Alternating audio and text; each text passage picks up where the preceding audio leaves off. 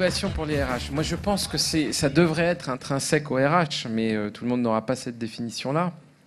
Euh, on dit souvent que euh, la fonction RH doit être gardienne du temps long, doit savoir anticiper, au fond montrer la voie, chercher la voie de l'équilibre entre la performance économique et la performance sociale.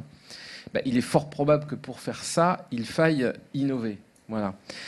Et euh, d'une certaine manière, il est toujours un peu plus facile d'innover quand on n'est pas dans l'urgence de la réponse au client, par exemple, quand on n'est pas dans l'urgence du business ou quand on n'est pas dans l'urgence euh, du, PNL, du compte de résultat, euh, et qu'on peut dédier un peu de temps à la réflexion et surtout au test, voilà, pour apprendre. Il y a des métiers qui sont quand même beaucoup plus portés sur l'innovation, nécessairement, hein, comme les métiers de la recherche.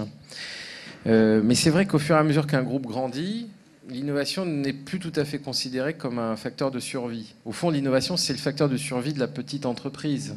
Euh, on voit bien que si elle n'arrive pas à innover, elle va probablement finir euh, fermer ses portes dans l'année. Dans un grand groupe, même si l'innovation est, mise en avant, il y a évidemment l'idée que la taille fait que ça peut subsister à, tout ce qui peut arriver. Mais je crois qu'on est quand même en train d'arriver à une nouvelle ère où c'est plus tout à fait aussi vrai. Euh, l'arrivée du numérique ou du digital euh, conduit à des désintermédiations très fortes dans tous les business que nous connaissons, mais au fond, même dans les business internes, euh, même dans la manière de communiquer avec les salariés, même dans la manière de les former, par exemple, l'entreprise peut se trouver désintermédiée si elle met en place des outils performants. Et, de ce fait, euh, comme le business model évolue, que la chaîne de valeur évolue, bah, si un grand groupe n'arrive pas à innover, euh, il se retrouve à risque sur son propre business.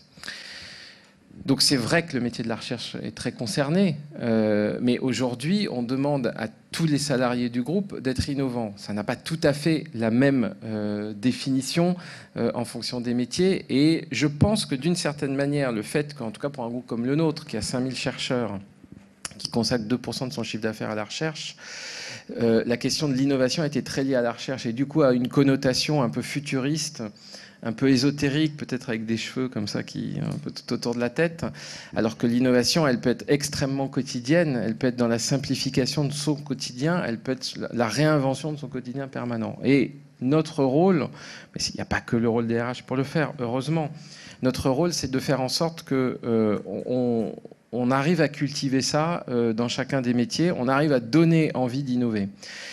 Et j'en viens donc au petit problème que nous pouvons euh, avoir, qui est que celui qui innove, c'est par construction celui qui prend des risques, hein, parce qu'il ne va pas refaire ce qui a déjà été fait. Et le risque n'est pas souvent très bien récompensé. Et donc nous, fonction RH, on a un rôle là-dedans à jouer. Évidemment, il faut qu'on sache trouver les modèles de, euh, pas seulement de rémunération d'ailleurs, hein, de, de récompense, qui permettent de mettre en valeur euh, la prise de risque. Parfois, on dit le droit à l'erreur. Enfin, c'est surtout la prise de risque qu'il faut mettre en valeur, parce que si on commence à mettre en valeur le droit à l'erreur, c'est un peu plus compliqué. Euh, mais c'est vrai qu'on a le droit de se tromper, sous réserve qu'on comprenne qu'une erreur peut apporter quelque chose.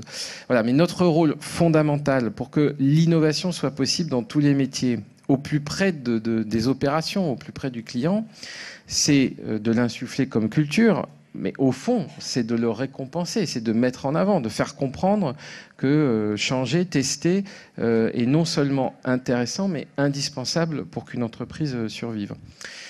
Et j'ajoute que pour nous, quand on a une grande taille, c'est aussi une façon d'attirer des profils qui sont intéressés par l'esprit d'entreprise, qui est possible à l'intérieur d'un groupe. Alors c'est pas forcément construire euh, sa start-up, c'est pas forcément euh, euh, devenir millionnaire, peut-être pas tout de suite, mais c'est au fond se dire que l'esprit d'entreprise, il existe dans une entreprise, tout simplement. C'est quand même pas incroyable, mais c'est vrai que pour ça, ça nécessite de refuser les habitudes, de casser les codes. Il y a évidemment beaucoup d'idées qui existent dans un groupe.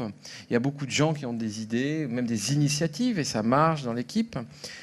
Et euh, le souhait du groupe, c'est de s'appuyer sur ces idées pour que euh, quelque part ailleurs dans le groupe, on le duplique et peut-être même on l'améliore. C'est d'ailleurs l'esprit du digital. Normalement, on fait un bout de code qu'on donne en open source à d'autres et puis ils le rattrapent et ils font quelque chose de plus intelligent. Mais moi, je trouve que dans un groupe, c'est extrêmement difficile de faire ce passage-là. On peut primer autant qu'on veut les gens qui ont eu une bonne idée, on peut même les faire monter euh, sur l'estrade avec des membres du COMEX, mais après, quand on revient dans la salle et qu'on dit, bon alors, qu'est-ce qui va prendre cette initiative et le déployer chez soi? Ben Là, tout le monde regarde ses chaussures. On dit, ah oui, mais non, on l'a déjà fait, euh, ça n'a pas marché, enfin, on retrouve les 19 causes. Bon. Et, finalement, euh, on, ne, on, ne, gagne pas à être un groupe dans ce cas-là, parce qu'il y a eu une intelligence quelque part et on s'échine à faire en sorte que ça n'a pas été inventé. Quand on arrivera à faire ça, alors nous, on essaye de le faire, mais quand on arrivera à faire ça, je pense qu'on euh, aura derrière le mot d'innovation, enfin les mots d'innovation participative, non pas un concept, mais une réalité qui veut dire quelque chose et qui produit des résultats. Qu'il est possible euh, de réveiller l'innovateur en soi, euh, qu'il est possible de booster un peu l'innovation, ou en effet de ne pas la tuer, ce qui parfois est probablement la chose la plus intelligente à faire avant de s'échiner à la développer.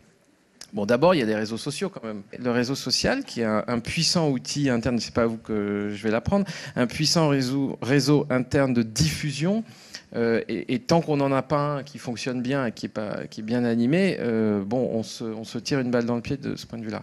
L'innovation, c'est beaucoup de croissance, mais pas beaucoup de rentabilité au début, évidemment. Donc, si vous évaluez les poches de croissance ou les poches d'innovation dans votre groupe à l'aune des critères que vous avez pour votre business installé depuis des décennies, vous dites non systématiquement. Donc, une des manières de s'en sortir, c'est d'avoir euh, ce qu'on appelle parfois un peu pompeusement une organisation ambidextre, c'est-à-dire d'avoir quelqu'un, probablement au COMEX, qui est capable d'appliquer à cette partie du groupe des critères différents. Simplement, il va se faire tirer dessus par un grand nombre. Hein. Donc, euh, d'appliquer des critères différents, de prendre des risques ou de prendre des chances, de saisir des chances euh, pour dire, bah voilà, on va investir là-dedans, on prend un risque, on n'est pas certain de la rentabilité, mais on est certain de la croissance. Et on verra in fine si on a bien fait euh, d'investir là-dedans.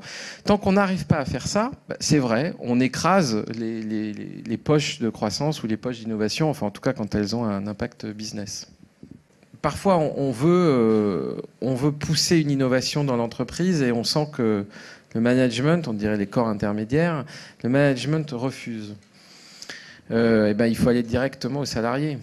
Et, d'une certaine manière, c'est ainsi qu'on remonte une innovation. Par exemple, si on décide d'ouvrir des réseaux sociaux externes euh, à l'entreprise, euh, il y a un blocage interne, euh, ben, on fait un sondage et on s'aperçoit que les salariés sont pour. Bon.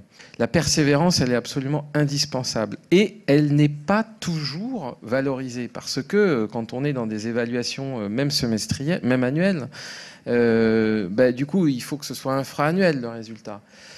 L'infra-annuel sur des innovations qui sont liées à des organisations du travail, par exemple, pour parler en langage RH, c'est pas évident qu'on ait des résultats en un an. L'innovation dans les modes de management, c'est peu probable qu'on arrive à avoir des résultats probants en un an, même la mise en place d'un réseau social. Et puis la troisième chose, je pense, que, qui est peut-être la plus facile pour réussir l'innovation, c'est de le coller ou de la coller euh, à un effet business. Alors là, normalement, tout le monde est d'accord parce que ça se voit tout de suite. Voilà. Donc ça, c'est plus facile. Mais sur les deux premières, euh, bon, bah, parfois il faut bypasser le système et, parfois il faut de la persévérance tout en sachant qu'on peut se tromper. Euh, il faut avoir différents modes d'organisation pour tester des innovations euh, différentes, tester des organisations différentes pour voir lesquelles produisent un fonctionnement le plus efficace possible. L'entreprise est en retard sur la, société ou la vie individuelle dans l'adoption technologique. C'est le défi pour l'avenir de rattraper ce retard. On a besoin de se former et c'est vrai des jeunes aussi parce que je suis d'accord, l'utilisation professionnelle c'est plutôt la même chose que l'utilisation personnelle. Voilà. Donc il y a quand même un besoin de formation qu'il ne faut pas négliger. Il ne peut plus y avoir une entreprise qui fonctionne si elle ne s'ouvre pas aux autres. C'est vrai d'ailleurs pour l'élite de, de, de l'entreprise.